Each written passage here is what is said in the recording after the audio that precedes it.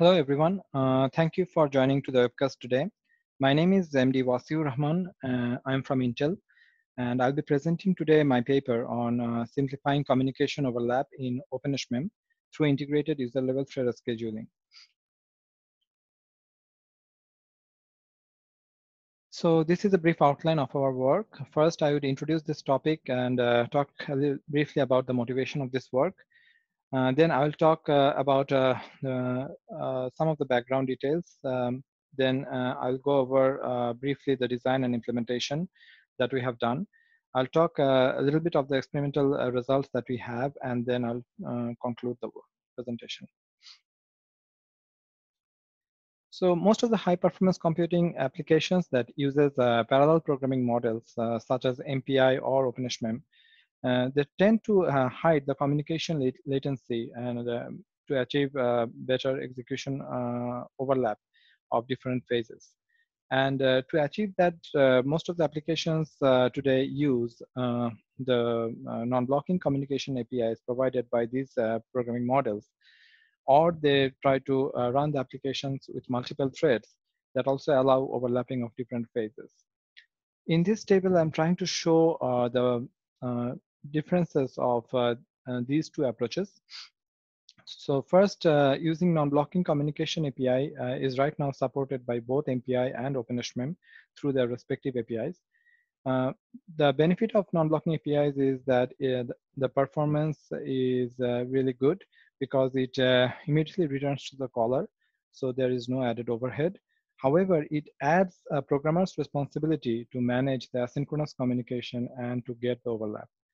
However, uh, the multi-threaded execution, which is also uh, supported by both MPI and OpenSHMEM, uh, in terms of performance, it is not as good as non-blocking uh, communication APIs.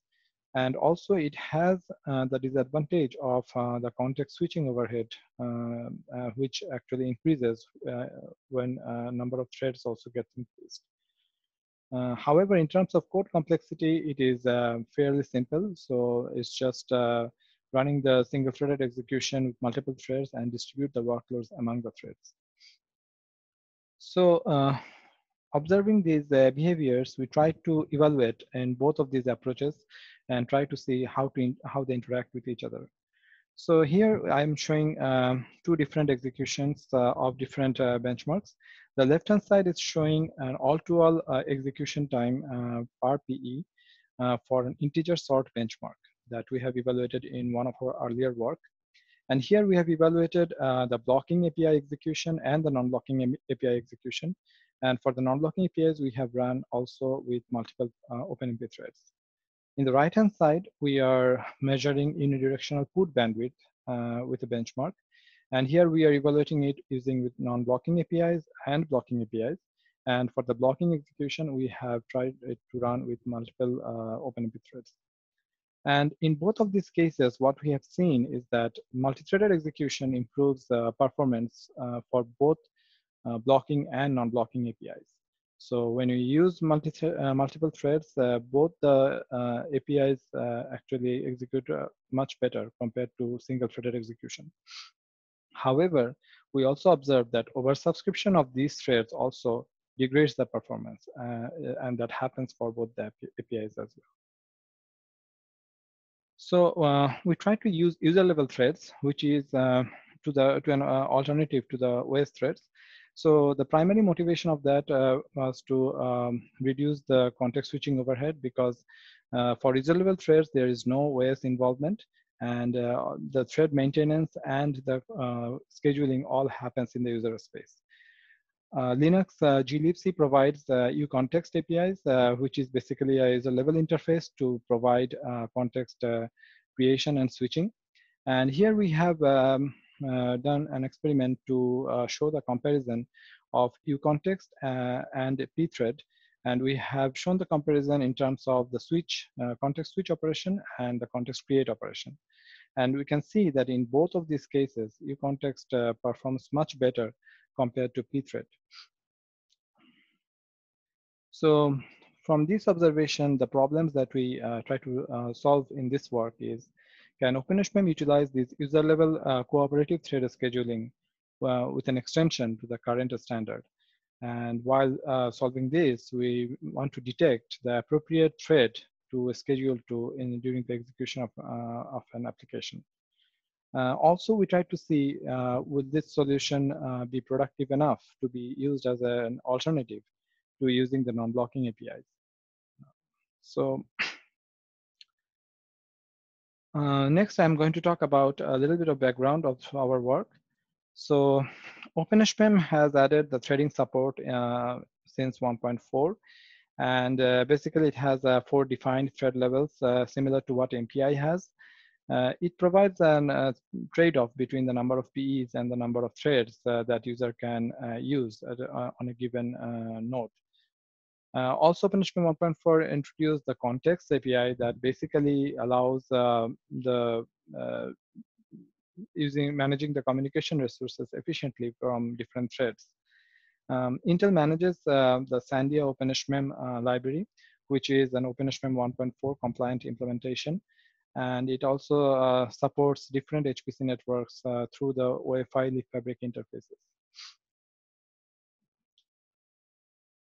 As a prior work uh, for this uh, study, uh, we explored uh, different user-level thread libraries that are available in the literature.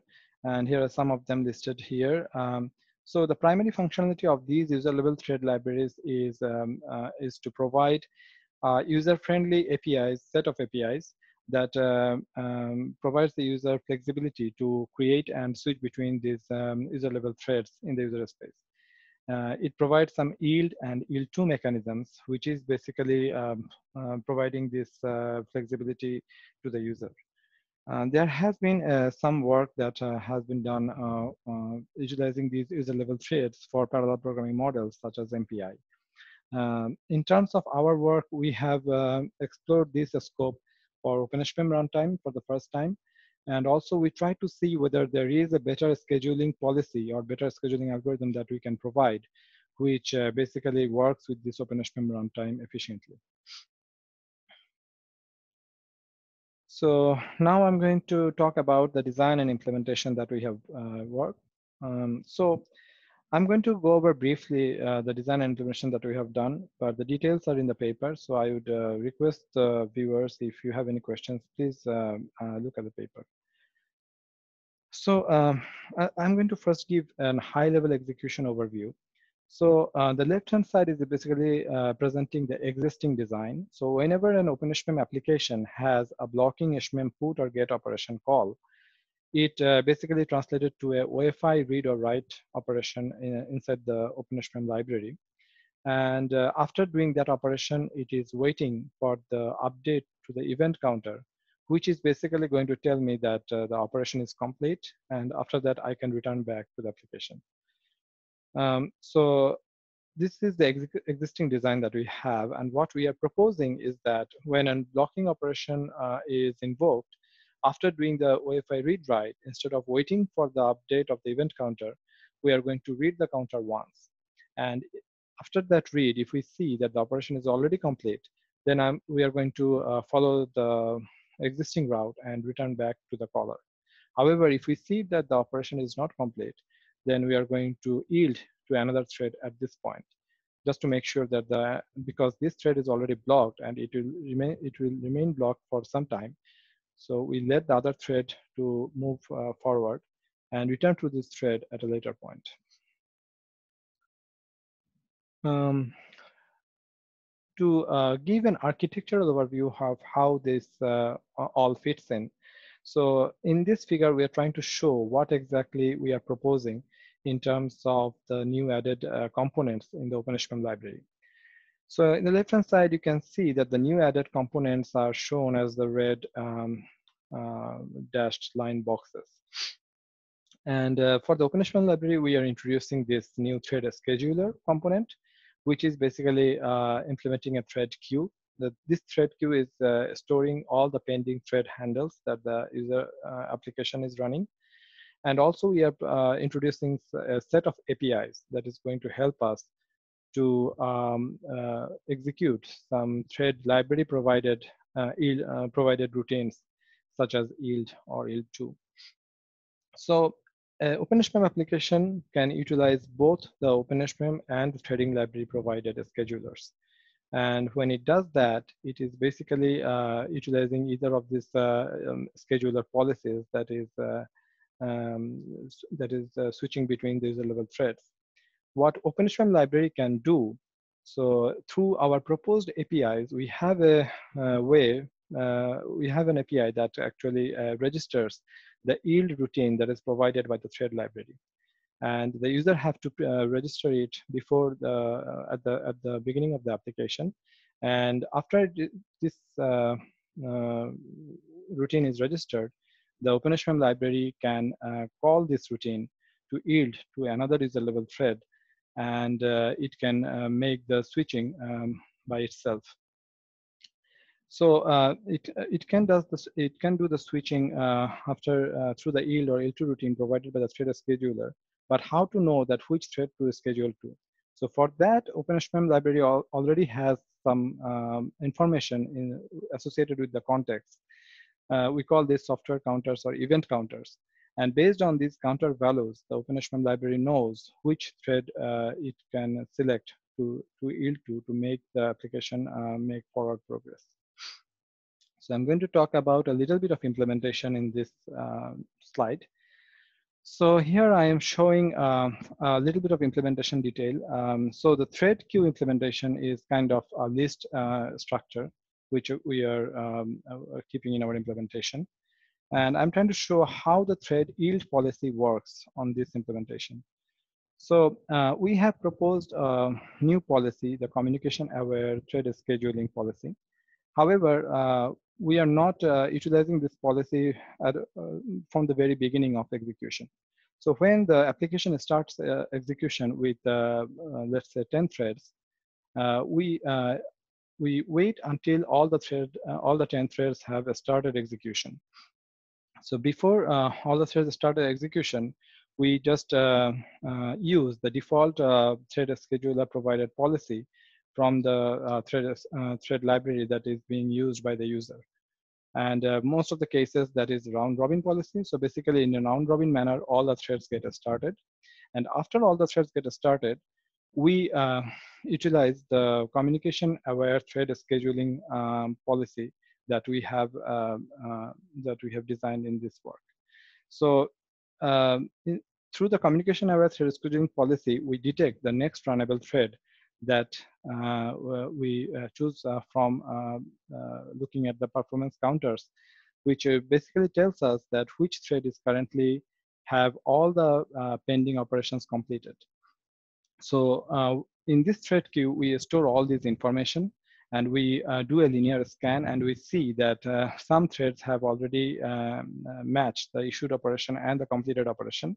However, some threads are still waiting for the uh, completed operations to, uh, to be equal to the issued operation. So uh, based on which, based on the these values, we decide which thread can be selected as the next runnable thread.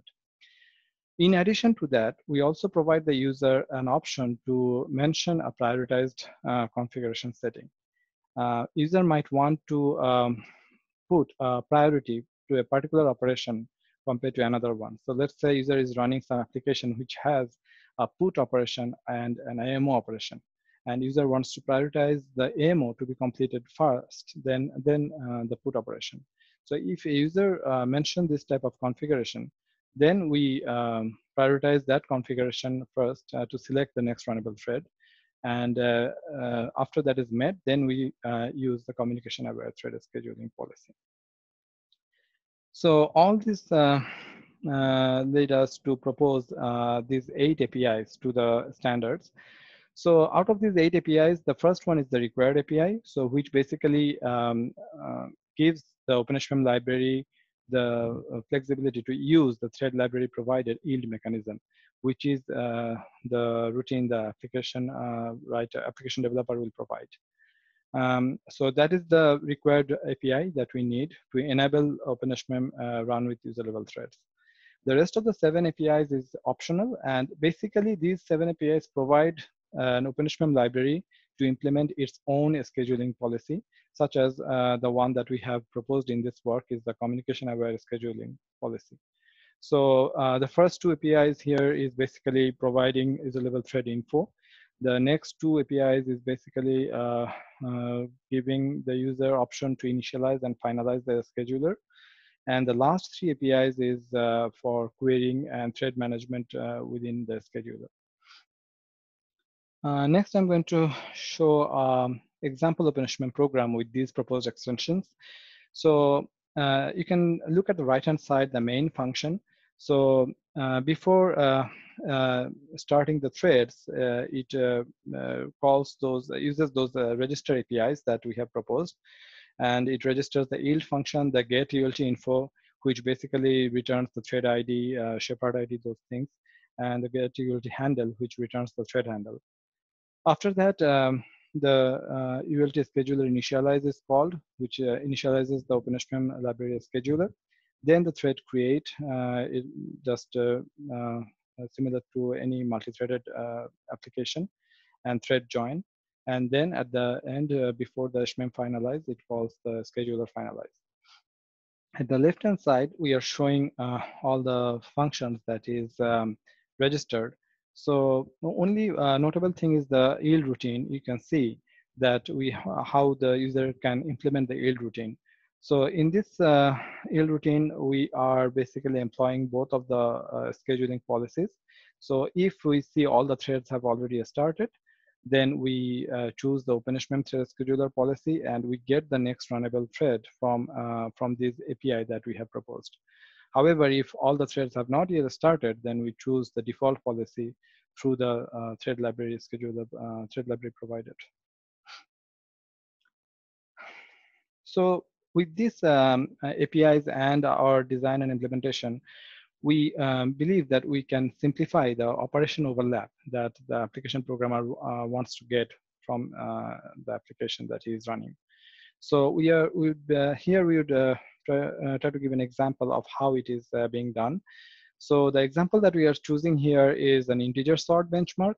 And integer sort benchmark has a, uh, it's a bucket uh, sort algorithm where at the end of the bucket uh, um, uh, and the bucket creation and the data filling, it does a key exchange um, among all the. And this key exchange is basically an all-to-all operation, and uh, it employs a fetch add operation first uh, to get the remote uh, destination offset index. Um, uh, this is a atomic operation uh, to make sure that uh, all the P's are not writing in the same place. And then a put operation, which basically writes the data to that index. So this code snippet is basically showing the key exchange routine um, in the default uh, in the in the application uh, of integer sort. And you can see that this employs just a single loop with uh, one atomic operation of uh, fetch add and then uh, uh, RMA operation of put. Now we are going to show um, two examples from the, derived from this key exchange. One is just implementing this key exchange with non-blocking APIs and the other one is implementing this key exchange uh, function with blocking APIs, but using multiple user level threads. So here are those examples. So left-hand side is showing the same uh, key exchange routine with non-blocking APIs. And the right-hand side is showing the same key exchange with blocking APIs, but with multiple threads. And you can see the non-blocking API execution uh, from that single loop has divided the work into three uh, for loops. And you can see that uh, each, uh, the first for loop is just uh, assigning default value to the destination offset that we are going to collect in a non-blocking API. Um, and the, in the second loop, we are invoking the non-blocking fetching AMO. And in the third loop, we are invoking uh, the non-blocking uh, put uh, RMA. And before that put RMA, we have to wait for each of the operation of the previous loop to be complete. And uh, just uh, this example actually shows that just to achieve uh, operation overlapping, we have to write this um, example application in this manner uh, when we are using the non-blocking uh, communication APIs.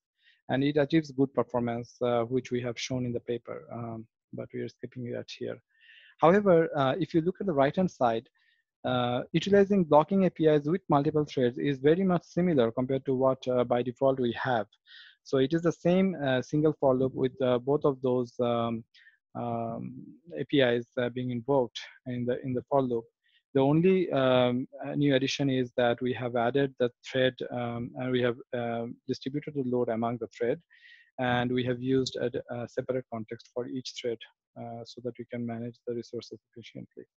So this basically shows that uh, simplifying the operation overlap through multiple uh, threads is uh, much more easier compared to utilizing the non-blocking API. However, uh, uh, we would uh, we would now show that whether we can achieve comparable performance as well. So I'm going to go over the experimental analysis next. Uh, so this is the setup that we have used. Uh, uh, we have used eight compute nodes in an Intel cluster. Um, this is an Skylake, the CPUs are Skylake machines and with 26 cores per node and two threads per core at 2.1 gigahertz. Um, uh, we have used uh, all these configurations, uh, which I'm not going to go over. Um, how, for software, we have used the Sandia OpenSHMEM v1.4.4, and the libfabric we have used 1.7 with the PSM2 provider. For the user level thread library, we have used Argobots. Um, for benchmarks and applications, we have used synthetic micro benchmarks. Uh, we have used Mandelbrot and integer sort benchmark. And also we have used the Smith-Waterman implementation uh, from o Oak Ridge benchmark suite. So I'm going to go over only two of the results today. So first of all, uh, I'd uh, like to present um, the performance of different scheduler policies. So as I have said in the design section that we employ two scheduler um, uh, policy during the execution of the application. At the initially when threads are uh, still uh, starting, we use the round robin, and then we use the communication aware thread scheduling. So here we are sh um, showing uh, performance differences Uh, using uh, different uh, scheduler policies for those two uh, execution times. And you can see that uh, the random means we are using random policy throughout the execution. Round robin is similar. Round robin plus random means we are using round robin um, since the thread has not been started. And after that, we use random. And uh, round robin plus communication aware means that we are using the round robin initially and then communication aware, which is basically our, our uh, proposed solution. And we have evaluated these uh, policies in two uh, environment. One is the balanced load and one is unbalanced. Um, by balanced, we mean that all the threads are basically doing the same thing. Um, there is no difference uh, um, in terms of what the thread is executing. Unbalanced means some threads are doing a different uh, type of execution and our communication aware thread scheduling will actually uh, be more efficient in that case because it can detect that uh, which thread is executing um, more work and it, it actually switches to those threads more. So here we are showing that uh, for balanced load, we are almost performing similar to uh, round robin for small message sizes. For larger message sizes, we perform better. And for unbalanced load, we are observing much higher benefit. Next, I'm going to talk about uh, our implementation with the Smith-Waterman algorithm. So we implement, uh, we take this implementation from OSB, and we have implemented the user level thread uh, on top of it. We executed this with eight user level threads per PE, and we measured these four different configurations. So the default is the default implementation, and uh, the default with prefetching enabled and non-blocking uh, API is basically the best case for default. Uh, implementation, implementation with user level threads is our implementation um, without any other advantage. And the last one is uh, our user level threaded implementation and also uh, adding the non-blocking API. And here you can see that um, if you look closely, the, um, the light blue and the yellow bars, they are very close uh, in terms of performance. And you can see that uh, these are basically the default non-blocking performance with prefetching and uh, in uh, comparison to user level threaded execution, and they are almost neck and neck. However, if we use non-blocking APIs with user level threads, the performance becomes much better. So here you can show that user level thread actually improves the performance by almost 28% for this um, sequence alignment benchmark. So um, I'll conclude now. Uh, so in this work, we have uh, explored the usage of user level threads for OpenSHMEM applications. We have tried to uh, show that comparable performance can uh, be achieved uh, by using level threads. And it also provides the ease of programming to achieve the communication overlap. Um, as the future work, we try to see that whether the scheduler design can be improved and also try to see whether uh, we can investigate with other thread uh, libraries that is there in the literature. Thank you. Um, this is my mail address. Uh, please Uh, send me questions if you have any.